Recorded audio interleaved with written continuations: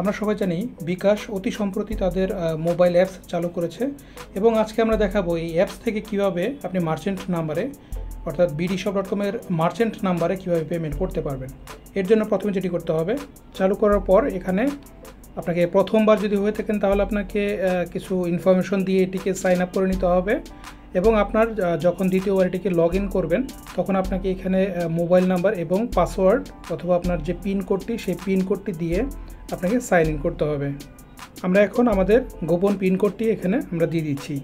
Pin কোডটি দেওয়ার পর এখানে যে অ্যারো বাটনটি দেখতে পাচ্ছেন, এই বাটনটিতে প্রেস করবেন, তারপর এটি লগ ইন হবে। লগ ইন হওয়ার পর এখানে বেশ অনেকগুলো অপশন দেখতে পাবেন। এর মধ্যে থেকে পেমেন্ট করার জন্য আপনাকে যেটি করতে হবে মেক পেমেন্ট এই অপশনটি এখানে যেমনটি দেখতে পাচ্ছেন মেক পেমেন্ট এই অপশনটি সাধারণত অনলাইন বা অফলাইনে কেনাকাটার জন্য মার্চেন্টদের পেমেন্ট করার জন্য এই অপশনটি বিকাশ ডেভেলপ করেছে। তো এখানে আপনার পেমেন্ট করার জন্য এই অপশনটিতে ক্লিক করবেন এবং এখানে আপনার যে মার্চেন্ট বা যেই নাম্বারে আমাদের বিডি শপ ডট কমের নাম্বার আমরা দেখিয়ে দিচ্ছি এখন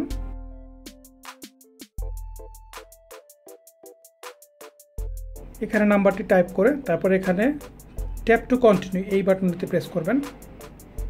এবং প্রেস করার পর পরের অপশনটি আসবে যে আপনি কত টাকা পেমেন্ট করতে যাচ্ছেন। এখানে আমি ধরে নিচ্ছি যে আমি একশো টাকার একটি পারচেস করেছি, আমি একশো টাকার একটি পেমেন্ট করব। এবং এখানে এই অপশনটি একশো টাকা অথবা আপনার যে অ্যামাউন্টটি হবে, সেই অ্যামাউন্টটি এখানে এন্টার করে এখানে যে অ্যারো আছে অ্যারো বাটনটিতে প্রেস করবেন। এরপর এখানে একটি সামারি দেখাবে যে কত অ্যামাউন্ট চার্জ কত। এখানে দেখতে পাচ্ছেন, এখানে কোনো পেমেন্ট করতে কোনো প্রকার কোনো চার্জ লাগে না। টোটাল কত? এবং এখানে আপনি চাইলে কোনো রেফারেন্স নাম্বার যেমন আপনি আপনার নিজের নাম অথবা কোনো অর্ডার নাম্বার চাইলে আপনি এখানে দিয়ে দিতে পারেন। এখানে আমরা রেফারেন্স হিসেবে দিয়ে দিচ্ছি টেস্ট এবং এটি দেওয়ার পর, এখানে যেমনটি দেখতে পাচ্ছেন, এখানে এন্টার পিন নাম্বার এই অপশনটিতে আসবেন। এই অপশনে একবার প্রেস করে এখানে আপনার, আপনি আপনার গোপন পিনটি, বিকাশের যে পিনটি আছে, এই পিনটি এখানে এন্টার করবেন। আমি আমাদের এই অ্যাকাউন্টের গোপন নাম্বারটি বা পিনকোডটি আমি এন্টার করে দিচ্ছি। পিনকোড দেওয়ার পর এখানে এই অ্যারো বাটনটিতে প্রেস করবেন। এরপর এখন কনফার্মেশনের জন্য আপনাকে যেটি করতে হবে, এখানে দেখাচ্ছি এখনও কিন্তু আপনার পেমেন্টটি সাকসেসফুল হয়নি। এখানে একটি সামারি দেখাচ্ছে এবং একদম নিচের দিকে এখানে দেখুন লেখা আছে tap and hold to make the payment এই বাটনটিতে প্রেস করে ধরে রাখতে হবে। এখানে উপরে যে একটি বার দেখতে পাচ্ছেন, এই বারটি উপরের দিক থেকে এইভাবে চলে আসবে এবং যখন এখানে শেষ আসবে, তারপর এই পেমেন্টটি সাকসেসফুল হবে। আমি একটি দেখাচ্ছি। এই, এভাবে প্রেস করে ধরে রাখবেন। তোকে আপনি যদি এখান থেকে ছেড়ে দিন, তাহলে কিন্তু পেমেন্ট সাকসেসফুল হচ্ছে না।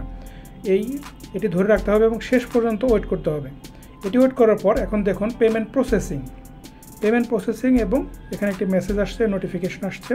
এখন এখানে যেমনটি দেখতে পাচ্ছেন ইয়োর পেমেন্ট ইজ কমপ্লিট এখানে নোটিফিকেশন আসছে টাইম দেখাচ্ছে টোটাল অ্যামাউন্ট দেখাচ্ছে ট্রানজ্যাকশন আইডি দেখাচ্ছে।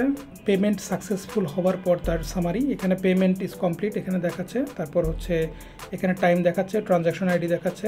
আপনার বর্তমান ব্যালেন্স কত? মানে পেমেন্ট যে অ্যামাউন্টে করেছেন, সেই অ্যামাউন্টটি বাদ দিয়ে এখন অ্যামাউন্ট কত?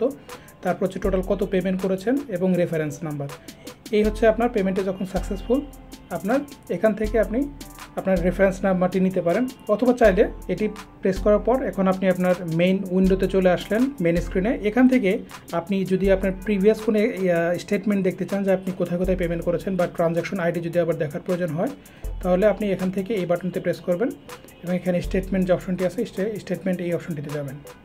এই অপশনটিতে গেলে পরে দেখুন এখানে দেখাচ্ছে যে মেক এ পেমেন্ট এই পেমেন্ট অপশনটি উপরে দেখাচ্ছে এবং এইখানে, এখানে দেখাচ্ছে যে আপনার ট্রানজ্যাকশন আইডি রেফারেন্স নাম্বার সব দেখাচ্ছে। কত অ্যামাউন্ট পেমেন্ট করেছিলেন ডিটেলস এখানে দেখাচ্ছে। তো এভাবে আপনি আপনার বিকাশের অ্যাপ থেকে আপনি বিডি শপ ডট কমের মার্চেন্ট নাম্বারে খুব সহজে এবং নিরাপদে এখন পেমেন্ট করতে পারেন।